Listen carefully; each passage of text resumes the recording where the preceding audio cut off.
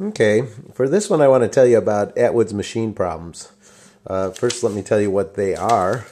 An Atwood's machine problem is when you have a pulley and there's two masses and um, say this mass is heavier than this one, this will go down if they're attached to a string.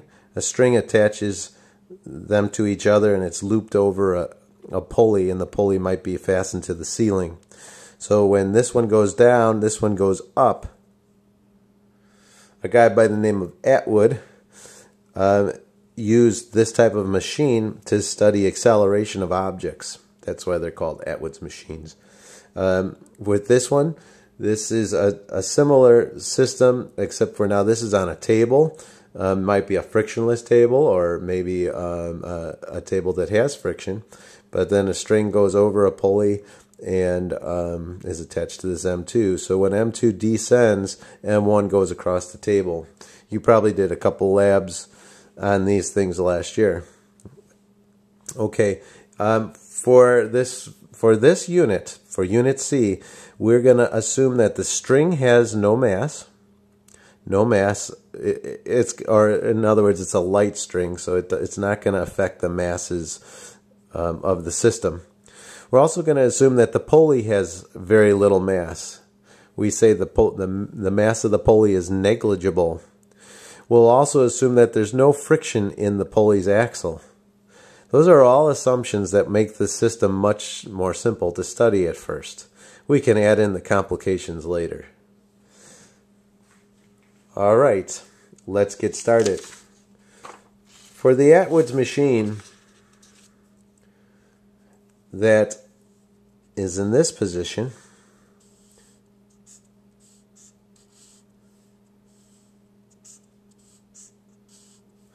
If this is M1 and this is M2, and if M, uh, you can assume that there's this is attached to the ceiling.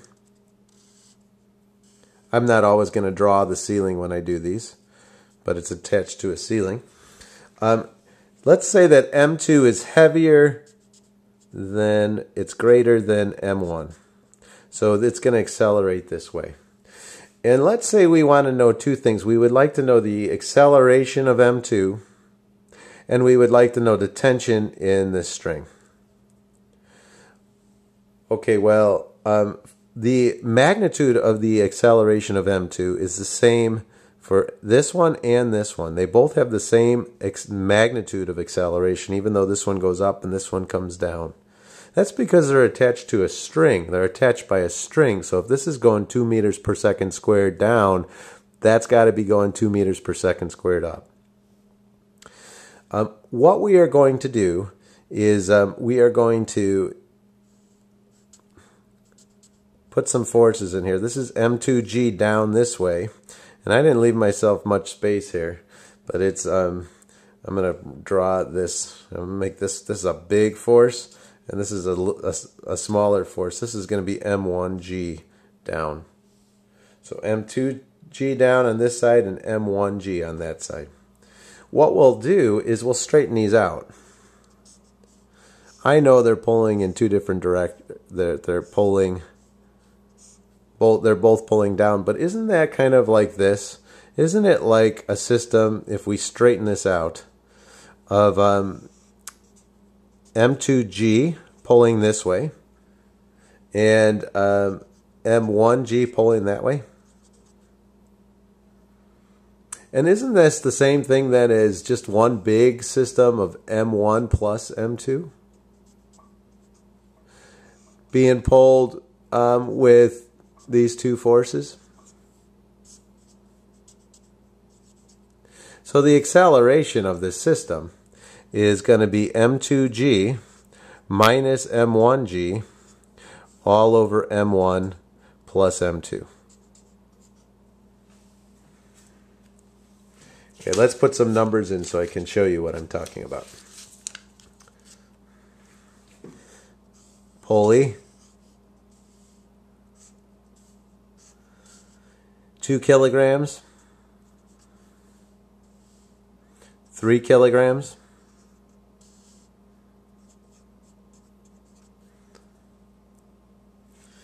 Okay, what will be the acceleration of this system? Well, that's kind of like a 2 kilogram being pulled with 20 newtons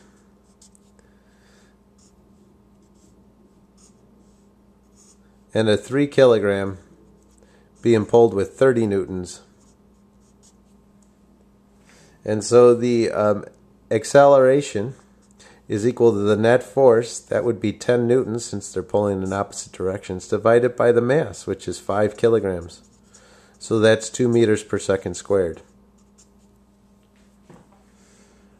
Okay, now you might ask, well, how do you get the tension? How do you get the tension in the rope?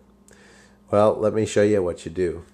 You tunnel vision on just one of these. If you just tunnel vision on just one of these, then um, let's look at what's happening there. I'll draw this down here so it's less confusing. We have uh, that 3 kilogram mass. We have 30 newtons down. And you know what's pulling up on it? Not this guy, it's the rope. The rope is pulling up with a tension FT. Guess which one's bigger, the 30 or the FT? I kind of gave you a hint. You know why it's bigger? The 30 is bigger? It's because it's accelerating down. The 30 must be bigger. Now I just apply Newton's second law. A equals F net over M. So A is 2 meters per second squared. I already know that. So I'm going to put in 2 meters per second squared. Yeah, I had to do that before I could do this. The net force, the 30 is winning, so I'm going to say 30 newtons minus Ft all over the mass. Now, I'm that's my system. The dotted one line is my system, so that's 3 kilograms. Solving for Ft, let's see, that's 6 newtons. Um, so that would have to be 24. Ft is 24 newtons. See how that works? I could have used the 2 kilogram one. I would have gotten the same thing.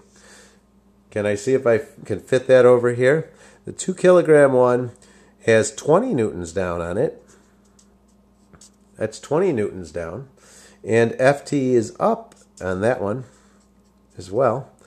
But um, in this case, the FT is winning because it's this one's accelerating up. So I would say 2 meters per second squared that's the acceleration, is equal to the net force. That would be Ft minus 20. The Ft is winning for that for this guy, all over 2 kilograms. 2 kilograms, because I'm looking at the 2. When I solve for that, lo and behold, I get 24 newtons. The tension in a string is the same throughout. Okay, I think I'm going to need a, a, a, part two to show you the the Atwood's machine for this type of a system. So I'll see you in a little bit.